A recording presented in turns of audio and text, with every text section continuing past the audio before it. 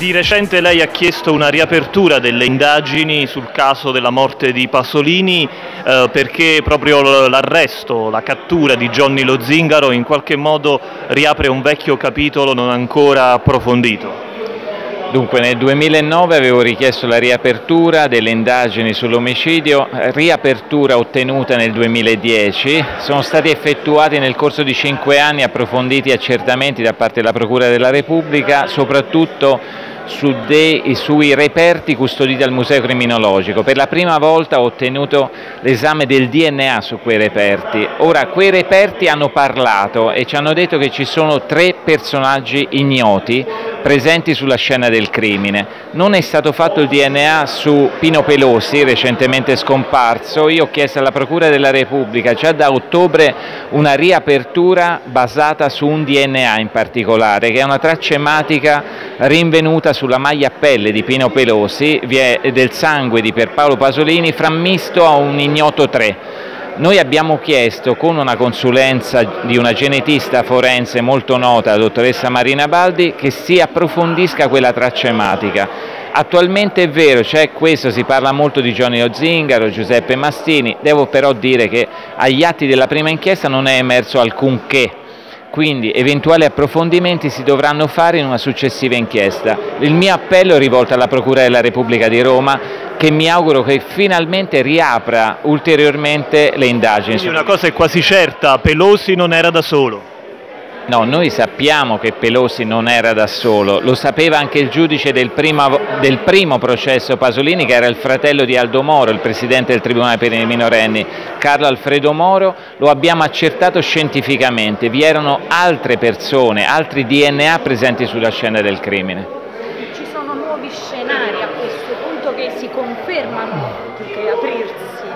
ma a mio avviso se eh, noi abbiamo la prova che Pino Pelosi non fu solo quella notte e noi abbiamo anche dei dubbi addirittura che Pino Pelosi fosse presente quella notte all'idroscalo di Ostia e vogliamo eh, fugare questi dubbi, soprattutto sulla testimonianza resa allora dal proprietario un, del ristorante, il Biondo Tevere, che descrisse una persona totalmente diversa da quella che era Pino Pelosi, cioè descrisse un ragazzo biondo con i capelli biondi e, e lunghi e soprattutto poi sul testimone chiave dell'inchiesta legato alla banda della Magliana, del quale noi abbiamo voluto chiedere un approfondimento ulteriore, secondo noi ci sono elementi per riaprire eh, questa indagine, anzi è doveroso riaprire un'indagine perché dobbiamo una parola di verità sull'omicidio di una grande eh, persona, di un grande artista quale Pierpaolo Pasolini. Questo è un, un capitolo dire, molto interessante, cioè Pelosi avrebbe potuto incolparsi del delitto per proteggere qualcuno.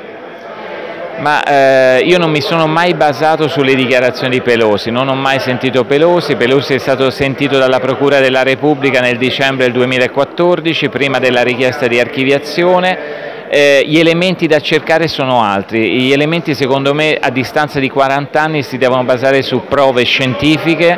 perché sono quelle che devono parlare, la testimonianza è già ben difficile anche se abbiamo trovato anche dei testimoni molto importanti, l'ultimo faccio solo un esempio, è un giornalista che vive a Stoccolma e che cenò il 30 ottobre, la sera del 30 ottobre con Pierpaolo Pasolini e che ha rivelato che Pierpaolo Pasolini era molto preoccupato, quindi c'era una situazione eh, sicuramente particolare, eh, Pasolini era entrato in possesso di carte particolari e eh, evidentemente c'era una volontà ben precisa che, perché queste carte non venissero divulgate. Entriamo ancora una volta nella notte della Repubblica.